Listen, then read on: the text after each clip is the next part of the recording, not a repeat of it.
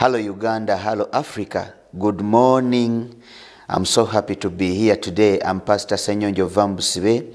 I welcome you all wherever you have been. I know on a certain note, some of you have just come from work, but for some of you have just woke up, you are planning to go for work. I just love to see the glory of God being with you. Vamubusibe Church is where I come from. And I thank many of you who have been following us in this time of morning prayer.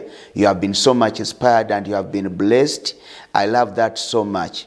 I met my son uh, called Muchibi, uh, I think, Muchibi Destiny, uh, from a certain secondary school.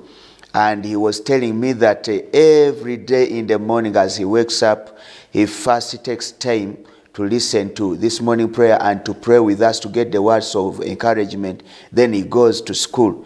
But the point was that previously he had demonic attacks at night. Just as simple as that. Every night he was getting attacks. He could uh, uh, shout, but in the sleep. Sometimes he could get wet dreams. But as he began to follow prayer, prayer, prayer, he told me that now he has good nights. He wakes up early in the morning when he is fine, he's energetic, he's fresh, and now his studies are going on well.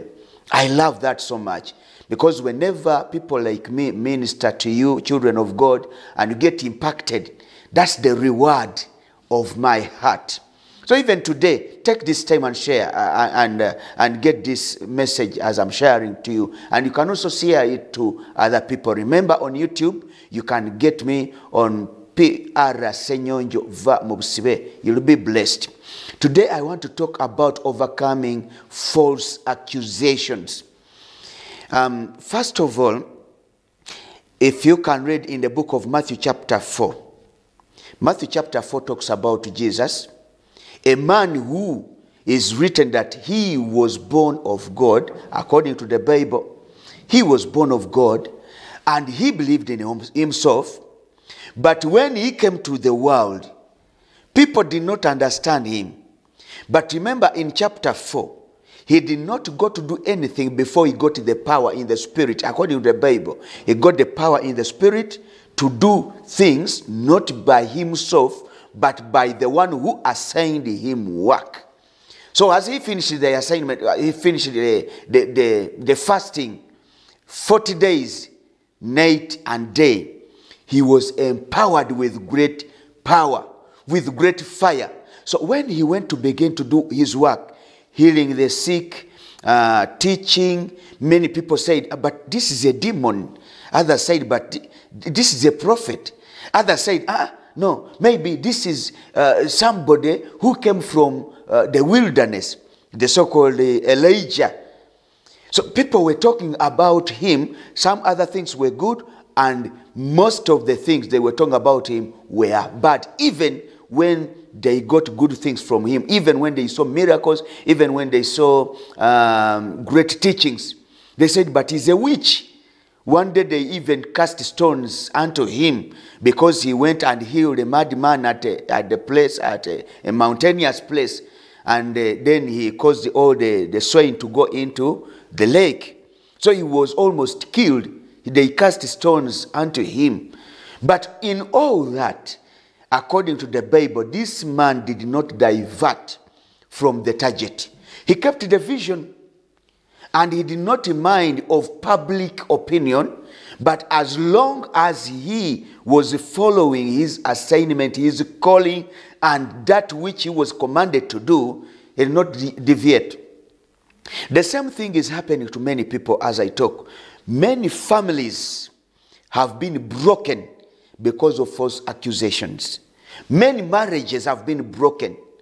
Relatives have turned to be uh, enemies to one another because of false accusations. We have things that were impacted in us Africans many years ago. Division. In, on a simple plate, I can remind you, many of you have been victimized of this. When you become rich from a poor family, all those who have not yet got money or have not got blessed like you are, raise up and they begin to say, You are a witch I don't say that every wealth is pure. Some wealth are got in a bad way. But we shall not elevate the, the, the, the, point of wicked wealth only. We have to talk about good. Go to poor families, the families which have people who have suffered for many years. If one of them comes out to be successful, you'll find them saying, This is a witch. He went to the seas, he purchased marine spirits. It is the reason why he's rich. Go to a certain village where many people are not okay and one of them is successful. They begin to talk evil. Again, in the same way, at round the other side, you find those who are successful, when they see one suffering, they say he's suffering because he has something bad that he did.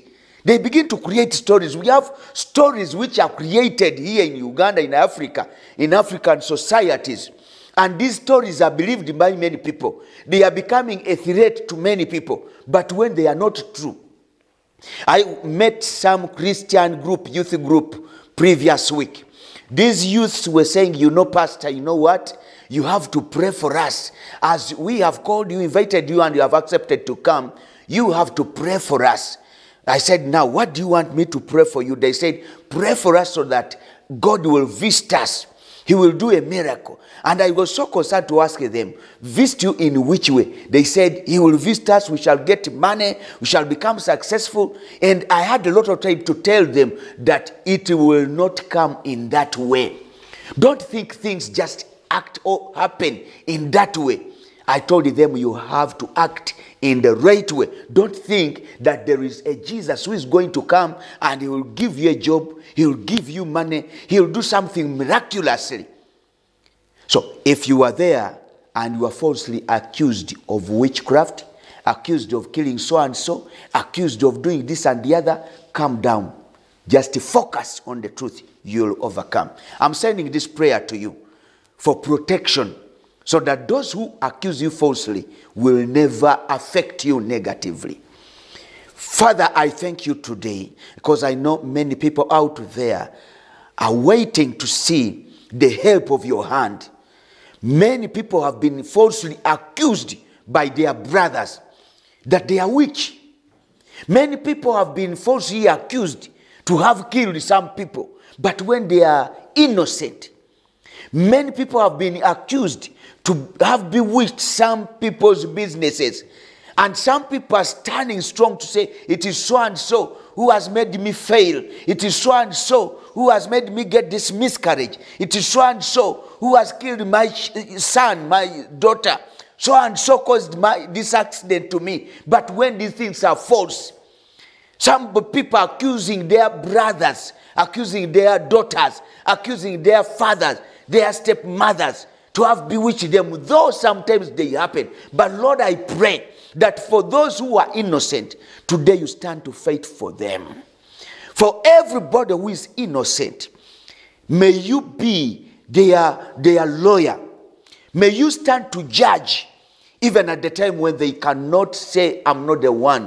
When they cannot be set free, I pray that you set them free. When all the opinions of other people are accusing them, but if it is true that they are innocent, I pray divine protection.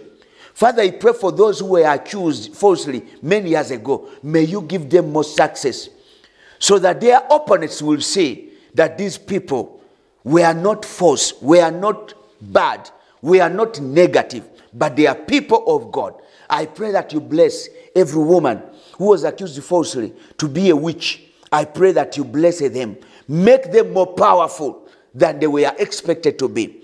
I pray for business people that they were accused, they are witch, they are thieves, they are robbers.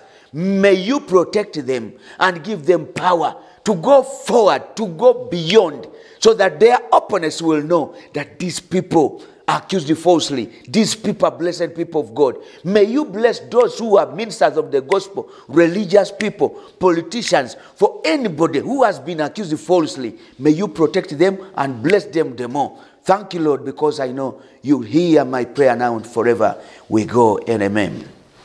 I'm Pastor Ssenyonjo Vamubusibe. I send that prayer to you. Please, you can call me. And if you can, please take time and come at Vamubusibe Church. Every Wednesday, I'm there right in the morning at 8 a.m. up to 3 p.m. Every Tuesday and Friday, I'm right in the services at 5 p.m. and every Sunday at 10 a.m. You can call me on 0752 229680 or 0782 229680.